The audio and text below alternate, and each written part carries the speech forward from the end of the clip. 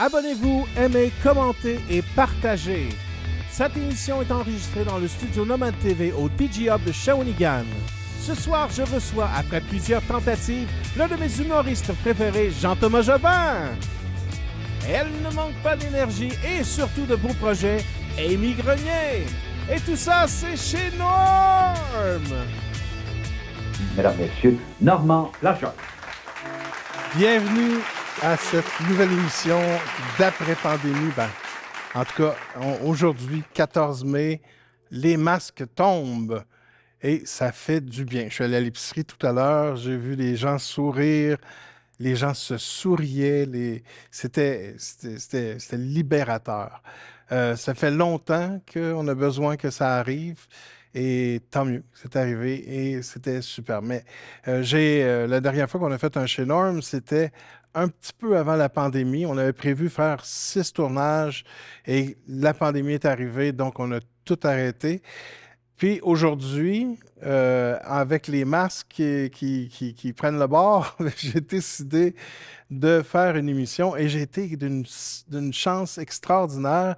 Il y a un invité que ça fait longtemps que je veux avoir et ce soir, vous allez l'avoir. Il va nous parler de plein d'expériences. Jean-Thomas Jobin, euh, qui est euh, un humoriste que j'adore, que j'aime depuis toujours, depuis ses tout débuts. Euh, il va nous parler, bien sûr, de Big Brother, il va nous parler de son enfance, il va nous parler aussi de sa nouvelle tournée qui, commence bientôt. C'est pas officiellement annoncé, mais hier soir, il y avait un spectacle que j'ai que j'ai vu et c'était magnifique, c'était super drôle. On va avoir aussi Émy Grenier qui est la personne qui s'occupe euh, de la salle où Jean, euh, Jean, Thomas a fait son spectacle hier, le salon Wabasso. D'ailleurs, il est encore en spectacle ce soir. on n'aura pas tout le temps qu'on a d'habitude. Il doit partir euh, à 7h moins 5. J'espère qu'on va réussir à le laisser partir à temps. Ça va être une, une entrevue extraordinaire et très, très, très, très intéressante. Euh, pour ceux qui ne savent pas, chez Norm, c'est une, euh, une émission qui vient un peu de concept quand j'étais plus jeune, mais même encore aujourd'hui. Euh, je fais des fêtes chez moi et quand la plupart des gens partent, il reste tout le temps quelques personnes et on s'assoit et on se raconte. Et des fois, ça dure jusqu'aux petites heures du matin. On apprend à se découvrir, on apprend d'où on vient, qui on est, notre enfance, où est-ce qu'on veut aller, qu'est-ce qu'on veut faire plus tard et tout ça.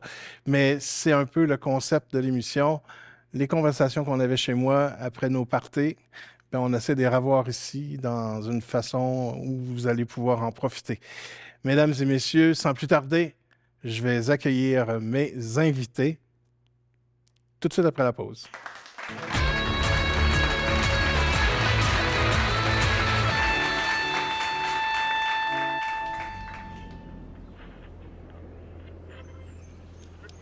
If you wanna get lost in a timeless moment. See the world from your couch, being carried away. My.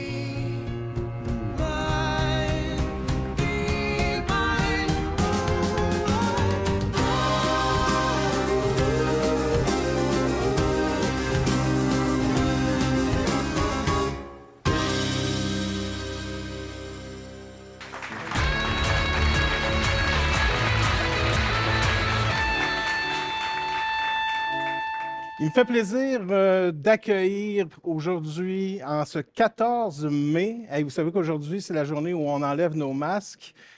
Il y en a qui font peur. Il y a du monde que j'ai rencontré avec des masques. J'aimerais ça qu'ils aient gardé un petit peu. Je pense que ça a changé. Non, c'est pas vrai. Euh, Aujourd'hui, je reçois euh, Émile, Gre- Émile, Émilie, Amy, Amy. Émy, Émy Grenier. J'avais peur de me tromper et je me suis trompé d'ailleurs.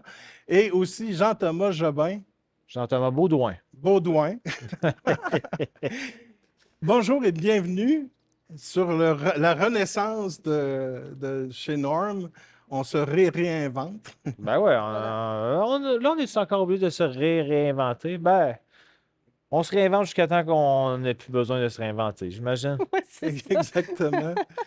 C'est- c'est- C'était un, c'était un moment dur, un peu pour tout le monde, euh, pour les salles de spectacle, toi pour le spectacle. Ouais. Mais euh, t'as quand, toi, tu as quand même eu du fun. J'ai j'ai meublé mon temps, euh, je me suis réinventé. Euh, Qu'est-ce que j'ai fait? Je suis allé passer 13 semaines dans une maison étrange euh, qui s'appelle Big Brother. Ah, ok, ah, ben oui. C'était pas. euh, je parle pas d'une maison hantée quelconque. Mais c'est ça. Fait que, puis après ça, euh, j'ai eu des tournages. Puis c'est arrivé une couple de fois que les shows ont recommencé. Ça a recessé. Ça a recommencé. Puis là, on espère que ça ne recesse plus. Mais euh, c'est ça. Je me suis tenu occupé quand même. Là. Artiste, on fait ce qu'on peut. Il faut, faut, faut, être- faut être créatif. Il faut, faut continuer de s'amuser. Moi, c'est important tout le temps de continuer à m'amuser. Euh, l'amusement, c'est comme ce à quoi je carbure dans, dans mon travail. Si j'ai l'impression que c'est une corvée, euh, je préfère pas le faire. Mais tout ce que j'ai fait pendant la pandémie, il n'y a rien de ça qui était une corvée. Ouais.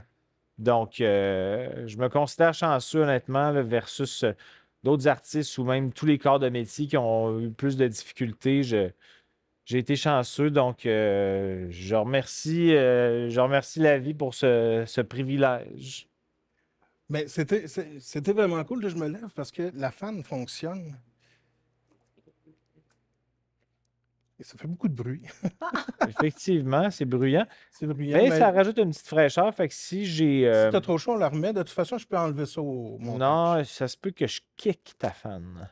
Un bon coup de pied dessus, là. Et Peut-être Ben la, oui, la pas? casser. Ben, honnêtement. Moi, je, trouve que des bris d'équipement ici, il n'y en a pas suffisamment. Il y en, ouais, il en manque. Je veux contribuer. Il y a trois caméras que j'ai repérées que ça se pourrait que Les kicker? pousse. C'est ça. Tu sais, j'ai- mon kickboxing, c'est ici que ça va se. Et- et ce, qui, ce qui pratiquer. est, euh, ce qui est un peu bizarre, c'est que ça fait, ça fait, comme je vous disais avant de commencer à tourner, ça fait quand même depuis avant la pandémie que je n'ai pas enregistré. Et je me rends compte de tout plein d'affaires que j'ai oubliées. Je n'ai pas fermé ma porte. Je vais me le- Ça va être. euh, Ah, mais c'est parfait. Je laisse- Moi, je j'aime laisse ça, ça- l'ajustement de même. Je laisse ça dans le, dans le montage. ça va être juste drôle. Bon, ça, je suis content. C'est parfait. euh, Chez Norm, c'est le Chez. Norm, as-tu hésité avant de mettre un point d'exclamation? Non, pas du tout. OK. Parce, Parce que. qu'en premier, c'était supposé être euh, Hey Norm. Hey Norm. Hey Norm! Hey, salut! Puis là, j'ai voulu appeler ça Hey Norm. J'ai demandé à Michel qu'est-ce qu'il en pensait, Michel Grenier. Ouais, Puis Michel a dit Non, pas sûr. pas sûr.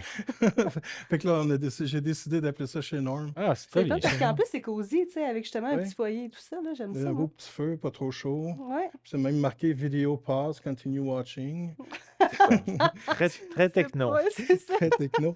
Il y a une affaire que j'aimerais savoir parce que j'ai- écouté beaucoup, beaucoup de, podcasts que tu as fait, des Ouais. émissions. J'ai été voir tes shows. Euh, donc, il y, a, ben- il y a beaucoup de choses que je sais. Ouais. Euh, des, des- comme hier, été voir ton spectacle. Il y avait quelques petits euh, Référent référents que, que tu comprenais, que d'autres comprenaient peut-être pas. bien. Mais euh, je- il y a une chose que je ne sais pas, par exemple, c'est ton enfance. Premièrement, tu viens d'où? Je suis né à Sainte-Foy, en région de Québec. Puis je suis resté à Sainte-Foy jusqu'à ce que je fasse l'école de l'humour en 99. Puis je déménage à 23 ans. Donc, euh, je- comme je suis rendu à 46 ans, je calcule rapidement. là, J'ai fait la moitié de ma vie à Montréal, la moitié de ma vie à Sainte-Foy. Ah, c'est bon. Puis euh, c'est ça, j'ai été très heureux euh, à Québec. là. Je suis heureux à Montréal. Je, je m'adapte à ce que la vie euh, me propose. Puis euh, c'est très bien. Québec, c'est un beau coin. Moi, j'ai toujours aimé, euh, aimé mon patelin. À chaque fois que j'y retourne, je suis heureux. euh, la maison de mes parents est encore là. Ma soeur, ma soeur l'habite. Puis euh, je suis bien T'étais- heureux. À l'école, t'étais-tu euh, un peu bouffon ou t'étais un peu Aucunement gêné? bouffon, gêné. Ouais, euh, c'est ce que je pensais. J'étais celui qui, qui, euh, qui joue avec ses manches pendant les exposés oraux parce que ça me, ça me mettait trop euh, mal à l'aise. Euh, non, j'ai pas, j'étais pas celui qui faisait les, les blagues pendant les classes. J'étais- Moi, j'étais celui qui était réputé pour euh, être lunatique puis tomber dans l'une au point que si, mettons, un prof chicanait un élève pendant les cours, je faisais Ah! Je faisais le saut parce que ça. J'étais tellement dans ma tête que là, je faisais le saut. C'est arrivé une fois que j'étais en train de me basculer sur ma chaise. Quand j'ai fait le saut, ma tête a pété sur le pupitre dans l'arrière. Pas eu de point de suture, mais pas loin. T'étais- T'étais-tu. euh, parce- moi, je- moi, j'étais un peu genre à euh, fantasmer sur euh, l'univers, c'est vide, puis tout ça. Puis dans ton style d'humour, j'ai comme l'impression que tu dois suranalyser à peu près tout ce que tu vois.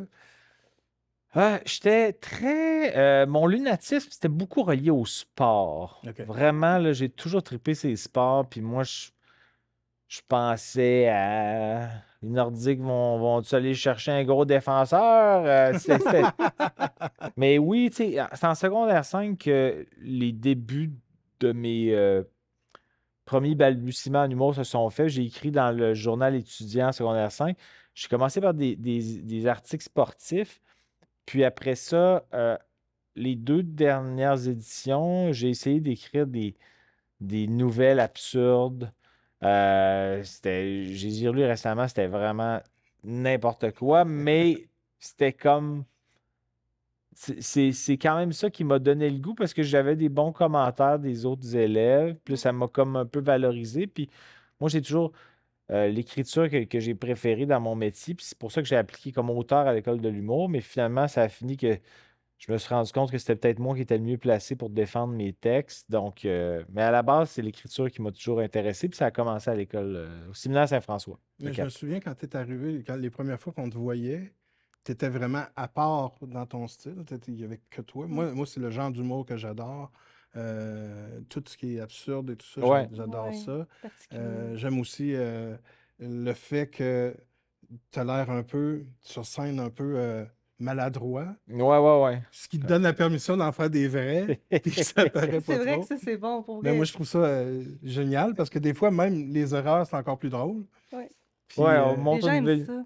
Ouais, on montre une vulnérabilité ou une transparence. Je, je le suis encore plus moi sur scène versus en début de carrière où j'étais un petit peu plus dans un personnage très froid, cartésien, euh, rationnel, sans trop d'émotions. Là, j'ai comme décidé d'être un peu plus proche de moi. Puis c'est les podcasts qui m'ont donné le goût de faire ça. Puis là, ben, tu sais, je, je reste avec un univers absurde puis tout ça, mais on tombe un, Un peu, peu plus plus parfois dans des trucs basés sur du réel. Maintenant, je raconte des affaires qui sont souvent une grosse base de vrai. Il y a des affaires complètement fictives, mais il y a beaucoup d'affaires vraies, puis j'essaie de faire sentir aux gens que cette affaire-là est vraie pour qu'ils embarquent un peu plus dans, dans, dans, J'ai euh, j'ai- vu, quand je vous regardais avec toi et Mike, Ouais, euh, vous avez une chimie qui est. Qui, qui- ça doit être un peu comme ça aussi dans la vraie vie. Là. ouais. Euh, mais t'as-tu ces, ces genres de conversations-là souvent? Ou, euh, Avec lui, c'est- tu veux ben, dire? avec, avec beaucoup de monde ou c'est Ben, vraiment... c'est sûr que quand tu es avec Mike, on est en mode de sous-écoute, en podcast, ben, euh, assurément que les deux, on est en mode de, euh, show, là, même Mhm. si c'est, c'est pas un show de scène, c'est quand même un show de divertissement. Puis on n'est pas nécessairement en mode qu'on veut que ça soit drôle sans arrêt, mais on est en mode, disons, comme si c'était nos conversations euh, du quotidien, mais Amplifié. tu peux amplifier. On, on se donne un petit edge de plus, de, tu sais, on, on garde tout le monde on the edge, on va dire des affaires qu'on dirait peut-être pas nécessairement dans la vie ou euh, quand on parle sur sa terrasse. Très belle terrasse, Mike, une des belles terrasses au Québec.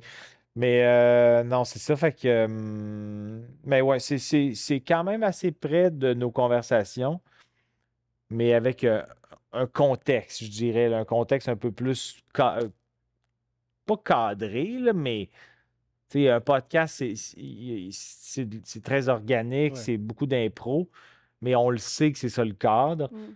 Donc, on, il y a quand même des, des limites qu'on se donne. En tout cas, que moi, je me donne, Mike, euh, je sais pas, j'y parle, sait jamais. j'y parle plus, je ne veux plus y parler, je le déteste, ce gars-là.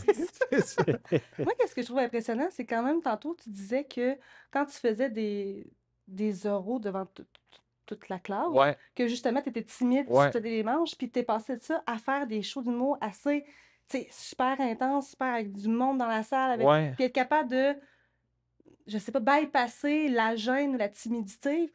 Comment tu as réussi à faire ce, ce Ben, cheminement-là, en fait? c'est une bonne question. Je, je dirais que je- ça s'est fait petit à petit, puis je pense que le fait que les gens, tranquillement, pas vite, ont appris à me connaître un, un peu plus sur le plan personnel avec les podcasts ou avec Big Brother, c'est comme si les gens ont un petit peu plus la clé de, de qui je suis. Puis là, on dirait que ça fait comme un apprivoisement euh, qui fait en sorte que ça me, ça me gêne moins, parce que j'ai l'impression que les gens ont un peu plus accès à qui je suis déjà, puis que j'ai moins besoin de, de me vendre. Ouais, ouais, je comprends. Ouais. De te Donc, présenter de en me tant que tel. présenter. là, la présentation est comme faite. Mm. Donc, euh, merci. Merci beaucoup. Je sais pas, je sais pas, si je vais en prendre parce que j'ai un show ce soir dans la salle de Mademoiselle Tu- tu- et je veux pas euh, lui faire honte. Tu feras attention aux marches, faut pas. Ouais, c'est ça, je vais bien, je vais tituber, je vais me blesser, je vais appeler la CSFT C'est ça. après. Quand, quand tu fais, euh, quand tu fais de la télé, des shows, euh, puis su- surtout avec l'expérience de Big Brother, Ouais. T'as-tu le en arrière de t'as-tu tout le temps un réflexe de, de puncher, de faire de quoi d'intéressant ou bien c'est- ça, ça devient-tu un. Tu sais, des fois on dit euh, on, a un défaut de, de, de, de, de- de pro- de profession, là, mais comme, comme moi je vais au cinéma, je regarde les défauts. Mais Ouais. toi, y a-tu quelque chose qui fait en sorte que du moment qu'il y a une caméra, tu tombes dans une phase où OK, on a une caméra, il faut que je performe, ou tu te donnes la chance d'être toi-même aussi? Je me donne la chance d'être moi-même, mais euh, j'essaie de pas être plate, mais une façon de pas être plate, c'est pas nécessairement toujours pour moi de faire des blagues. C'est pas juste être de donner de la substance quelconque, euh, si c'est une conversation sérieuse, d'essayer de donner le meilleur de moi-même dans cette conversation sérieuse-là. Ça veut pas dire que c'est toujours heureux ce que je vais raconter, toujours pertinent, mais je fais de mon mieux, mais je, me donne quand même. Je veux pas être trop sévère non plus parce que dans la vie, je suis pas toujours intéressant, je suis pas toujours drôle, mais dans un mode organique ou un mode euh, impro, ben, il y a des grands bouts dans la vie où euh, je suis plate, donc je m'accorde le droit d'être plate, puis tout le monde devrait se l'accorder. Tu sais, c'est Mm. pas. euh, Donc, mais j'essaie quand même de donner le meilleur de moi-même, Mhm. puis en me disant, ben, à partir de là, si les gens, ça En les intéresse ou non. en fait. C'est ça. Puis si, si- si- Après ça, ça ne m'appartient plus. là, tu sais, Il y a des gens qui, qui, qui m'aiment moins, puis qui m'aimeront jamais, puis c'est bien correct. Je ne sais pas de les convaincre. Euh, mais par contre, devriez quand même checker tout ce que j'ai fait, Ah oui. tous les podcasts, tous mes shows.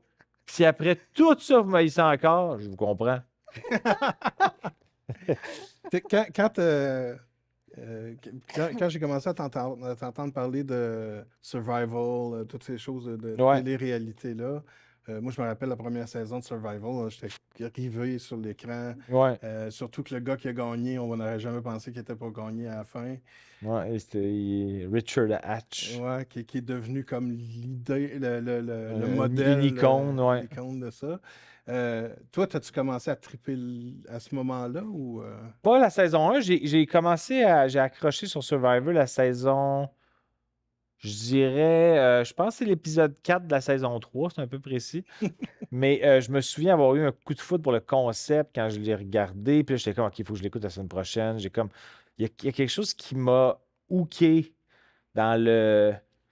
ben, le concept du jeu, mais aussi le, le côté très cru des, des images. Puis de, tu sentais que tu avais accès à une conversation là, très raw. Euh, puis ça m'a plu. Puis c'est par après que j'ai réécouté les saisons euh, 1 et 2 à retardement après avoir vraiment accroché sur la, la 3. Puis là, ben, je suis resté accroché depuis, puis euh, je n'ai jamais cessé. qu'est- qu'est-ce qui t'attire dans les téléréalités? Parce que je sais que s'il t'appelait pour faire euh, Survival, je pense que tu y penserais deux fois, là? T'a- T'aimerais ça y Je aller? ne penserai pas deux fois. Je- je-? Peut-être pas, la- pas celle au Québec, parce qu'au. Québec, là, il va y avoir une version au Québec, puis je j'aurais pas l'impression d'être sur un pied d'égalité avec tout le monde. Surtout si c'est une édition que que les gens sont fans, puis ils savent que je suis fan. Puis là, j'ai gagné une télé-réalité qui est un peu un genre de Survivor dans une maison. là. Les règlements sont pas tout à fait pareils, mais Big Brother, c'est quand même proche de, du concept de Survivor dans, le principe, des éliminations chaque semaine, puis survivre au vote, puis euh, des épreuves, puis tout ça. Fait que, euh, mais si le faire aux États-Unis ou peut-être en France où les gens me connaissent pas, puis qui savent pas que je suis un passionné, puis qui savent pas que j'ai pu gagner un autre jeu équivalent, ben là, je, je le ferai. Euh, il- ce qui fait que je triple là-dessus, je pense, c'est vraiment. Moi, j'aime ça, les jeux de stratégie sociopolitique, puis tout ça. Puis euh, Puis t'es très subtil aussi dans ta façon de. Parce que moi, j'ai écouté Big Brother de même, là. J'ai pas manqué côté. une émission. Ah oui. Puis moi, c'est vraiment là que j'ai appris à te connaître, en fait, parce que j'ai- j'avais entendu parler de toi aussi, comme, Ouais. comme tout le monde. Mais là, j'ai appris à te connaître en tant que personnage, en tant que, per- que personne, puis ta vie personnelle un petit peu aussi de comment que t'étais. Puis honnêtement, t'étais très subtil dans ta façon. Tu sais, il y en a qui ils se démarquent beaucoup par leur personnalité, puis ils parlent Ouais. fort. Puis... Mais justement, on dirait que vu que Jean-Thomas, il était très un petit peu caméléon euh, Ouais, par c'est ça. Ben, ça a tellement donné. Ça a donné ça. Genre, sais, c'est hot, là, mais c'est c'est Ouais, vraiment. mais c'était quand même beaucoup de travail, là, dans le sens que c'est long, 92 jours, puis tu Ouais. sais que c'est tout le temps, tu sais, c'est vraiment du placotage, puis de, de, de- de placoter à un, mais pas de la même façon que tu parles à l'autre, parce que des fois, tu sais que les mots pour persuader quelqu'un sont pas les mêmes que pour su- persuader l'autre, puis euh, donc c'est, c'est, c'est... Mais moi, c'est dans ma personnalité de, de, de toute façon de jamais être intempestif, puis euh, tu sais, euh, donc, euh, je pense que j'avais. Puis le fait d'en avoir écouté beaucoup, ça me donnait une chance. Là. Puis c'était une saison 1 où beaucoup de monde. Il y en a qui, qui avaient déjà suivi, mais d'autres moins. Donc, euh, mais des fois, jouer avec des gens qui ne savent pas jouer, c'est quasiment plus difficile que jouer avec des gens qui jouent parce qu'ils deviennent imprévisibles. Il y a quelque chose de. Qu'est-ce qu'ils vont faire? Ils vont se comprendre. Fait que fallait intégrer ça dans, dans la C'est saison. Mais... survie, en fait. C'est Ouais. ceux qui connaissent pas ça du tout. C'est c'est une forme de survie aussi. Oh, ouais, certaine vraiment. C'est un. C'est un. C'est un. c'est. C'est ça. Faut que tu. Faut pas que ce soit toi qui quitte la maison. Fait qu'il faut que tu fasses tout pour, pour éviter c'est ça. Puis ça, influ- ça l'a influencé beaucoup la saison 2, parce que dans la saison 2, ils se sont tous débarrassés de ceux Qui jouait le plus. comme toi. ouais, peut-être. Tu voyais. Ouais. Mais Tu vois Comme qu'il y avait quelqu'un. Hein? Non, c'est comme j'entends, non, non, non, non. Non, c'est du moment qu'il voyait quelqu'un qui dit OK, non, lui, là. Mais l'affaire, c'est que dans les téléréalités comme ça, dans des jeux comme ça, souvent, euh, ils appellent ça de recency bias, là, biaisé parce qu'il est arrivé récemment. là. Souvent, les saisons précédentes influencent la, la saison suivante, puis c'est normal. tu sais. Là, peut-être qu'une saison 3, pe- là, peut-être que vu que ceux qui ont vraiment qui jouaient le plus fort saison 2 qui sont comme partis vite, là, peut-être que les joueurs forts vont faire comme faut qu'on se calme au début, là.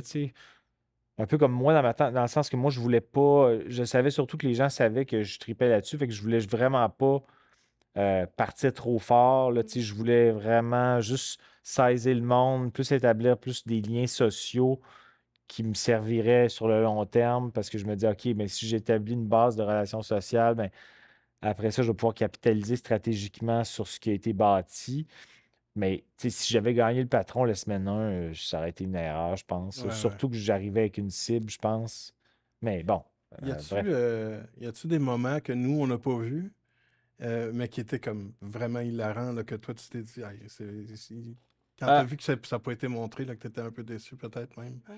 Parce que, Pas- je savais que ça ferait, ça aurait pas- ça- ça- c'était pas pour être montré, mais moi puis Kim Clavel, on a eu ben, plusieurs gros fous rires, là, avec Rich aussi, là, puis avec tout le monde, je riais, mais avec Kim Clavel, on en a eu un particulièrement qui, que j'aimerais vraiment avoir la séquence vidéo parce que c'est quand ils ont a- a- inséré la, la twist des lingots d'or, là, c'est peut-être moins, euh, moins frais dans la tête du monde. Mais moi puis Kim, on s'est mis à appeler ça des pépites en joke. Parce qu'on trouve ça plus drôle le mot pépite que lingot. Puis là, euh, fait que là, la twist venait d'être installée. Puis là, c'était Kim qui était patronne. Puis là, moi puis Kim, on parlait. Puis on appelait ça des pépites. Puis on n'arrivait pas à pas rire.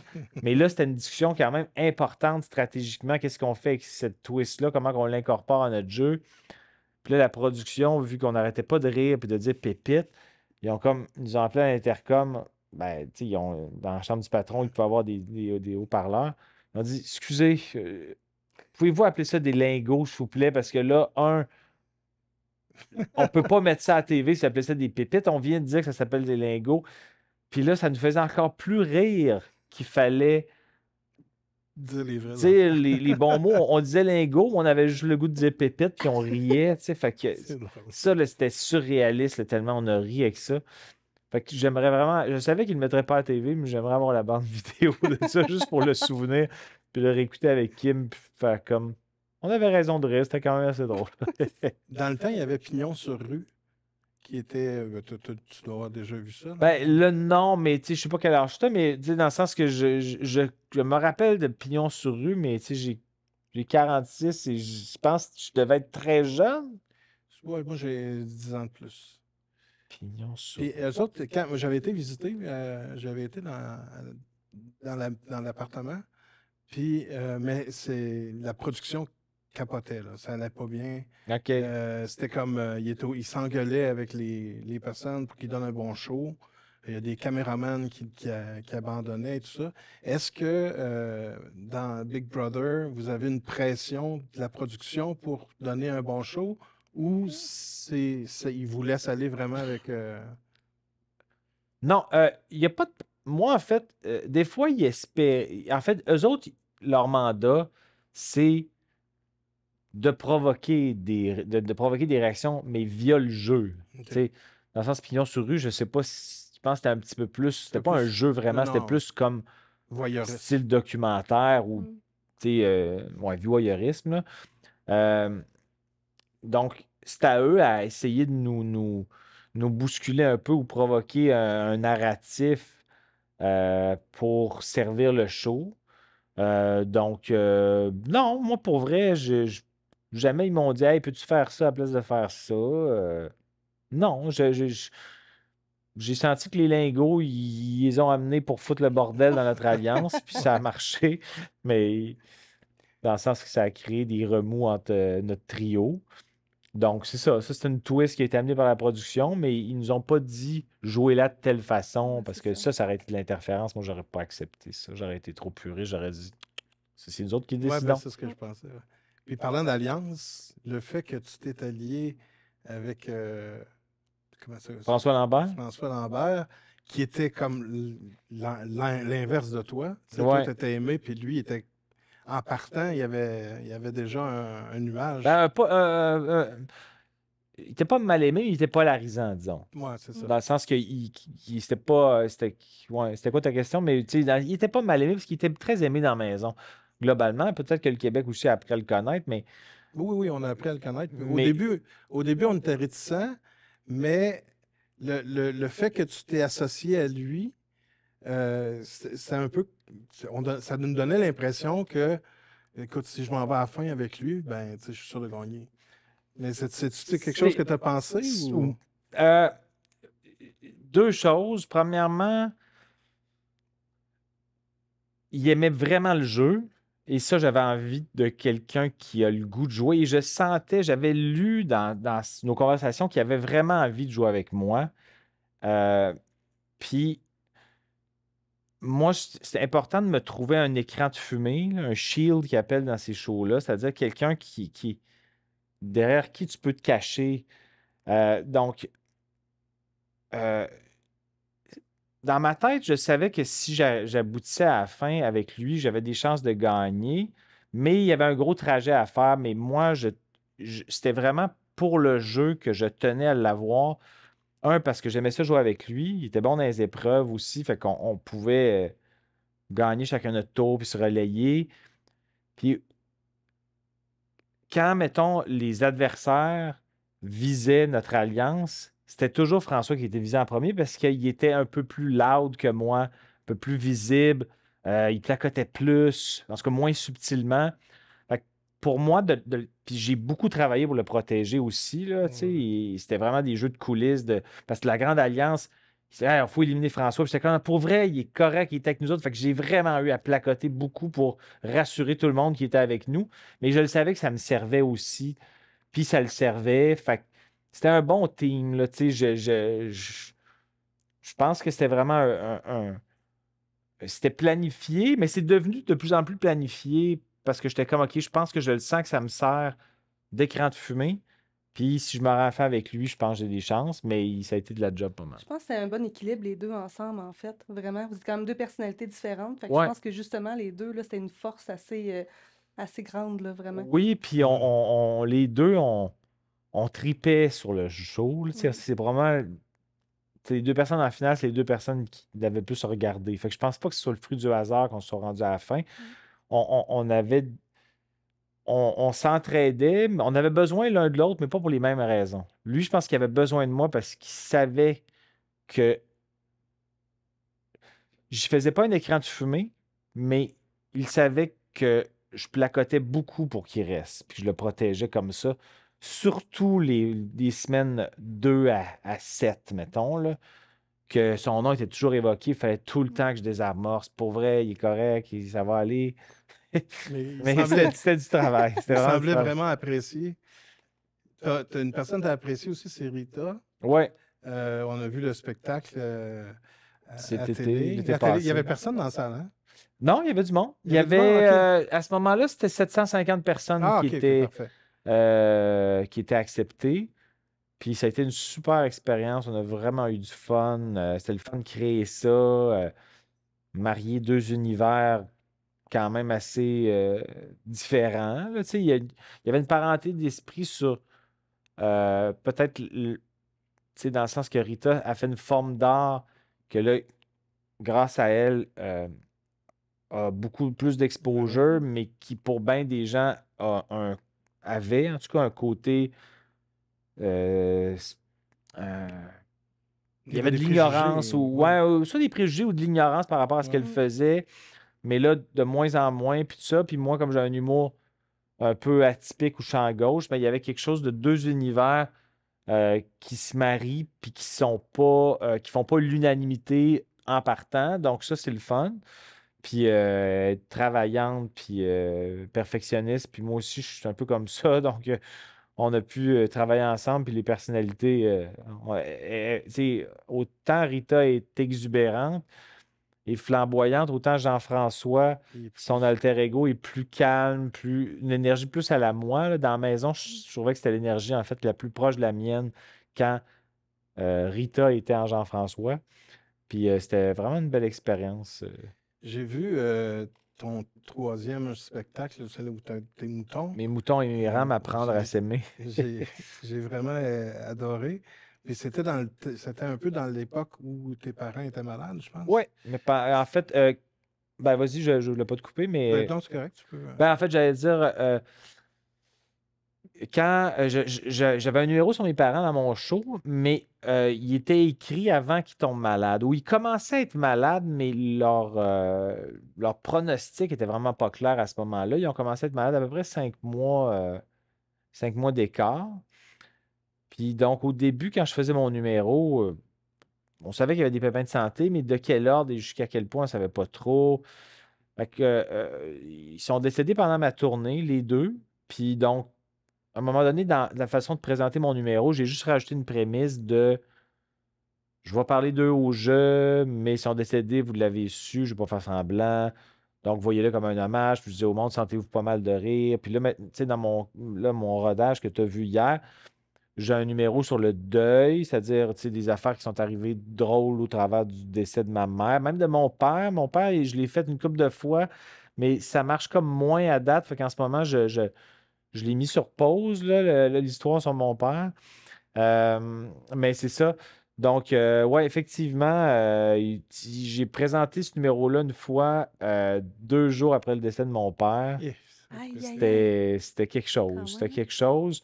Euh, je l'ai refait aussi après le décès de ma mère, mais il y avait eu un gap, parce que ma mère est décédée pendant, la période estivale. J'avais pas de show, j'ai recommencé peut-être euh, un mois et demi plus tard. Euh, quand mon show a été capté, il est sur YouTube pour mes détracteurs qui veulent aller le voir et m'haïr. mais quand il a été capté au Jésus, là, à ce moment-là, les deux étaient décédés, puis je, je trouvais ça important d'accuser le fait parce que je l'avais dit, ces réseaux sociaux. Fait que je voulais pas faire semblant de rien. J'aurais trouvé ça malaisant. Moi, la version que j'ai vue, il était décédé. OK, ouais. Je pense que c'était à Jean Duceppe que tu m'as dit que tu étais venu, puis effectivement, il était décédé. Euh, c'était très drôle, mais j'ai quand même trouvé ça très touchant. Puis c'était une soirée spéciale parce qu'il y avait beaucoup de personnalités dans la salle. C'est possible, ouais. J'ai remarqué que euh, il, y avait, il y a beaucoup de, de têtes qui hochaient. OK. Quand, quand tu as fait ce truc-là, tu avais une appréciation. euh, puis, puisque, comme je te dis, moi, j'observe un peu tout. Tu regardes autour. Puis euh, j'avais trouvé ça très, très touchant. Puis même que j'étais émotif. Ouais, ouais. Ben, tu t'es fin, dit. merci bien gros. Puis euh, j'ai trouvé ça superbe. Puis en même temps, hier, le, le show, euh, je sais pas si tu m'as entendu rire, mais c'était sincère. Pas spécifiquement toi, Mais parce que je reconnais pas ton rire assez. là, Tant mais- mieux, parce qu'il est. Mais c'était, euh, c'était magique. Mm. Moi, moi, j'adore le, le côté que tu as de prendre des choses qui sont. Si moi je dis la même chose, là, même si je serais, euh, si je serais habile, j'arriverais pas à faire rire. Toi, tu prends une affaire puis tu réussis à la faire rire. Mais où tu prends cette confiance-là, tu, pars avec quelque chose, tu dis, moi, ça va être drôle, ça. Mais c'est parce que toi, tu le trouves drôle en partant. Ben, je trouve ça drôle en partant, mais ça veut pas dire que le public va trouver ça aussi drôle que moi. C'est pour ça, en, rodage, des fois, on a des, on a des surprises où on pense que quelque chose est drôle, puis des fois, on fait OK, ça, je pense que ça marche, la base est là, mais des fois, il faut que tu retravailles le trajet ou que tu trouves une nouvelle chute ou. euh, euh, donc, c'est ça. de- en fait, ça, c'est quelque chose que je, je fais plus qu'avant, c'est-à-dire, avant, je faisais jamais ça, mettons me prendre une note audio de Hey, ça, ça, ça m'amuse. Mais là, maintenant, vu que je fais, j'aime ça raconter des trucs que j'ai vécu, puis les. Pas les romancer, mais les, les ironiser, Mhm. disons, là, tu sais. Euh, comme hier, tu sais, je racontais le, le truc là, qu'il y a un monsieur qui se fâchait après quelqu'un puis qui disait qu'il connaissait 150 policiers, 150 Hells Angels, tout ça. Mais ça, j'ai- ça m'est vraiment arrivé. fait que je me suis comme pris une note. Il faut que je commente ça ou que je fasse un, affaire là-dessus. Puis là, je, je suis en train de le travailler. Là, tu sais, c'est, c'est comme tout nouveau. Mais tu sais, hier, ça, ça a bien réagi à Sherbrooke aussi. Mais je sens qu'il faut que je le, le, le peaufine ou que je trouve une meilleure chute. Fait que là, ça devient comme du, du travail puis du peaufinage. Là, souvent, comme là, ce soir, je vais le faire probablement à peu près pareil là, pour, pour vérifier des trucs. Puis là, quand, quand j'ai un espace entre des shows de rodage, là, là, je prends le temps de retravailler. Mais Mm. quand c'est des shows consécutifs, là, je veux pas. euh, j'ai besoin de temps pour remémoriser mes modifications. Donc, euh, mais c'est ça, c'est vraiment euh, les trucs qui me font rire spontanément. Puis des fois, je fais comme, voyons voir si c'est juste moi qui trouve ça drôle ou si d'autres mondes peuvent trouver ça Mais c'est drôle. vrai, par exemple, que c'est quand même touché de prendre un sujet quand même tabou et le transformer en, justement, comme euh, le, le deuil, le décès, Ouais, puis transformer ça en quelque chose qui peut être drôle. qui peut être que- drôle, ouais. Puis que les gens peuvent se retrouver à l'intérieur de ça aussi, faire comme, puis ça fait voir une autre facette, justement, du, du deuil. Puis même pour eux, ça peut être justement euh, une espèce de Réconfort. ouais, réconfort pour Ben, eux-mêmes. sais. c'est ça, l'an- tu sais, l'angle de, de ce que je dis dans ma prémisse, c'est que, tu sais, conserver son sens de l'humour au travers d'un deuil, ça peut être Oui. important, puis ça aide à réduire le chagrin, puis aussi, tu sais, de rendre hommage aux gens qui nous ont quittés, parce que les gens qui nous ont quittés, ils veulent qu'on continue de s'amuser. Ben Parce que, oui. je veux dire, la vie, c'est tellement court, là, je veux dire, dans le sens que mes parents, ça fait cinq ans qu'ils sont décédés, puis le temps passe tellement vite que je me dis, ben là, il faut que j'en profite parce que je vais les retrouver bientôt de toute façon. là. Ça passe tellement vite, là, j'ai 46, je suis en bonne santé, mais je sais pas, là. Il peut m'arriver de quoi demain, euh, à soir? Euh, À monter les escaliers sur le je sais stage. pas, moi, ce que Norm a mis là-dedans. Euh. J'ai j'ai- j'ai une petite dernière question sur, euh, sur ton show d'hier. Euh, à un moment donné, tu as fait une remarque sur le fait qu'il y avait beaucoup de Ah. ah. Ouais, ouais. Est-ce que, est que les Ah, des fois, c'est aussi satisfaisant que des rires? Pas pour moi. Non. Moi, les A, je préfère des silences que des A, parce que les A, c'est comme si ils, ils trouvaient que j'étais allé trop loin, alors que moi, je trouve pas ça. Ok, toi, t'es pas le genre à vouloir. euh, Ben non, mais ça, ça- ça m'amuse, ces réactions-là. Je, je les, je les commente, mais je préfère des rires que des A. Ok. En général, mais si vous avez le droit de faire des A. euh, je- c'est c'est Ah, moi, j'en vraiment. ai pas fait. J'ai j'ai que ri. Je sais pas si tu l'as l'as-tu vu? Oui, je l'ai vu, je suis en arrière. Il a pas en fait plus. de A? Non. OK. Il est Des ah, ah, ah, plutôt. T'es- Ça veut dire que tu es honnête à Big Brother, euh, je, je te, je te ferai confiance. Euh, c'est ça. J'ai- on- il te reste pas beaucoup de temps parce que c'est un, c'est un show ce soir. Ouais. Et, euh, C'est mais- Amy d'ailleurs qui C'est m'accueille Amy, très mais justement, gentiment. on va. Parce que Amy est avec nous euh, sur, euh, sur l'émission, puis on risque d'en faire d'autres avec d'autres artistes. Avec plaisir. Explique-moi un peu, c'est quoi le, le salon, euh, le salon à Basso? En fait, le salon à Basso, ça fait, c'est une partie intégrante du, de la microbrasserie Le Trou du Diable. On a été acheté par Molson en 2017. Euh, c'est vraiment une salle de spectacle qui est très. euh, on, on peut autant que les clients peuvent la louer, que je peux justement avoir des artistes qui viennent, que je peux faire des salons de dégustation avec accords, mets et bière. Euh, donc, c'est. J'ai tellement une panoplie de choses que je peux faire avec le salon à Basso. Donc, c'est vraiment mettre mon imagination à. C'est polyvalent comme salle, puis les événements, il y a une variété aussi. Ah, Puis- vraiment. Puis toi, c'est quelque chose que tu. Parce que tu, tu travaillais là avant dans la boutique, Oui, puis tu avais comme but, parce que tu es étudiant en médias, Oui. et tu avais comme but de t'occuper de cette salle-là parce que tu avais probablement des plans, puis tu voyais que ça pouvait aller quelque part. exactement. Ça fait. En tout, euh, au Trou du Diable, ça fait environ un an que j'y travaille. Mais à mon poste, ça fait trois mois que je OK. travaille. OK, fait que c'est tout frais. C'est tout frais. C'est tout frais, tout frais. Puis j'ai encore à m'adapter et tout. Mais quand que je suis rentrée, je voulais aller porter mon CV au Trou du Diable. Puis moi, je me suis dit, un jour, je vais avoir ce poste-là. Combien de temps que ça va prendre, je ne sais pas. Mais je voulais m'introduire euh, dans la microbrasserie, savoir est-ce que j'aime l'ambiance, est-ce que j'aime les gens, est-ce que le vibe, est-ce qu'il est bon. Puis finalement, environ euh, six mois après, j'ai réussi à avoir le poste que, que je voulais. Tu as mis le pied dans la porte, puis ça n'a pas été long que le deuxième pied est rentré. Ça en plein ça. Je suis vraiment contente. Ben, ouais. C'est le fun, pour vrai. Ça prend beaucoup de talent parce que là, tu t'occupes du booking. Il faut t'accueillir les, les artistes, que tu- qu'ils soient bien. Oui. Euh, puis je t'ai vu aussi, tu t'occupes de tout le staff. Oui. Euh, hier, tu courais vraiment beaucoup. Mais J'ai vraiment une grosse aide, par exemple, parce que justement, j'ai un, de, un, un employé avec moi qui s'appelle Olivier Boudreau. Puis lui, il est là depuis le tout début que le Trou du Diable existe. Puis il connaît la, la- l'éclairage, la technique du salon à basso par cœur sur le bout de ses doigts. Puis justement, hier, euh, il était une grande aide, vraiment. Donc, on est vraiment une dédié. équipe. oui, on est un, un complet, pour être honnête. Moi, j'ai mon travail à faire, mais mon équipe l'a fait exceptionnellement. Tu fais confiance à ceux qui ont des tâches précises. Tout Puis à ça. fait, tout Ouais, à fait. vraiment, hier, j'étais super bien reçu. C'était super le fun. On va espérer que ça salle, soit, euh, copié-collé centaine de ce soir.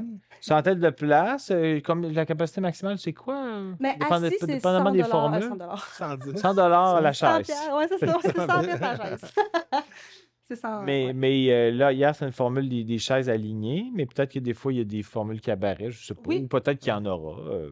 Oui, J'ai l'air du gars qui, qui, qui prend en charge la salle. Ben non, mais c'est vrai. Mais tu sais, dans le sens que. Mais le fait que la salle est, est un petit peu plus éclairée que d'habitude, tu sais, on voit bien les gens, dans, tu voyais très bien les gens. Mais là, on va le changer ça ce soir. Ouais, pas que j'ai pas aimé ça, mais je savais pas que ça se tamisait. Puis là, si j'apprends que ça se tamise, ce soir, on va faire la version non tamisée. Ou tamisée, tamisé, pardon.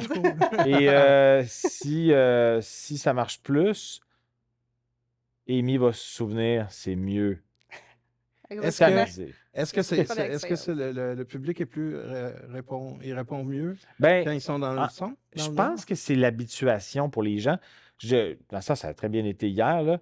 Euh, mais euh, moi-même, quand je suis spectateur ou quand j'avais fait ma, ma captation au Jésus, je voulais pas que la foule soit éclairée. En général, quand c'est une captation télé, là, la foule est éclairée.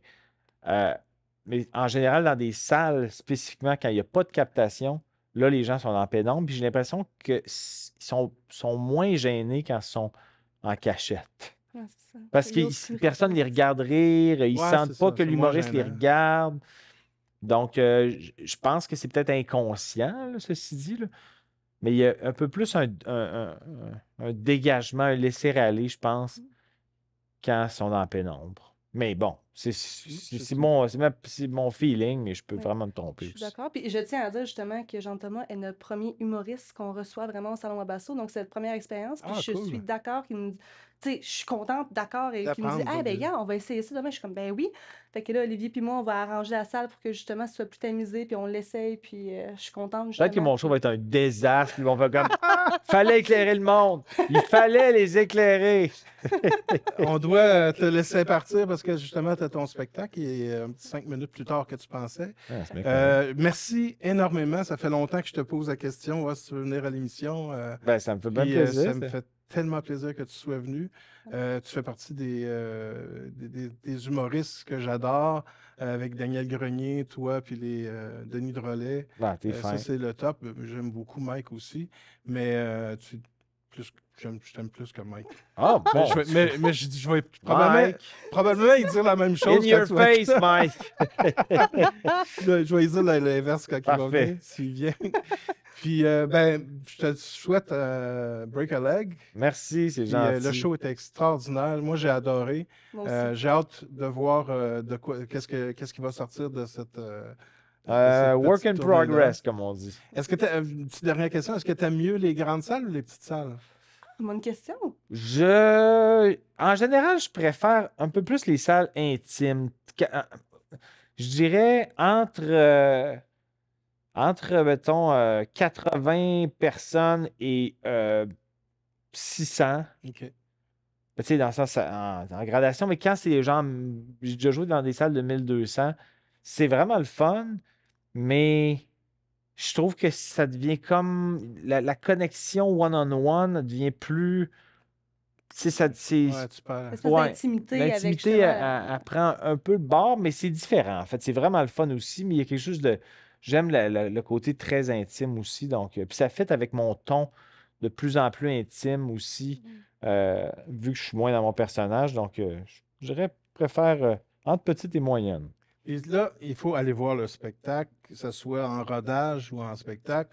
Euh, tu fais une tournée en ce moment un peu partout? Là, je me promène, mais je suis pas en rodage officiel là, parce que je commande. Ben oui, je suis en rodage, mais dans le sens, euh, ma tournée n'est pas annoncée. Donc, euh, Ils ont-tu un moyen d'aller voir euh, Mon site internet, jean-thomasjobin.com, quand il y a des dates où je, où je vais jouer, sont, sont inscrites sur le, le- la page. Puis euh, sinon, sur mes réseaux sociaux, des fois, je parle du fait que, que j'ai une série de shows qui s'en vient. Fait que j'y viendrai voir ça. Puis qu'est-ce qui s'en vient après euh, dans les prochaines semaines? On a des shows de métal, mais plus Oh. local. Ouais, fait que là, on tombe dans le rock, le métal, un petit peu de groove aussi, plus, euh, plus relax. Donc, mais c'est très local dans les, les prochaines semaines, en fait. Là. Donc, Cool. euh, Ben, on va voir ça. Eh, merci d'avoir regardé cette émission-là, même si ça a commencé un peu bizarre. Puis euh, j'espère qu'on va se revoir. Un grand plaisir. Euh, ça- c'est une grande joie pour moi de, de vous avoir reçu. Merci pour l'invitation. On se voit la prochaine.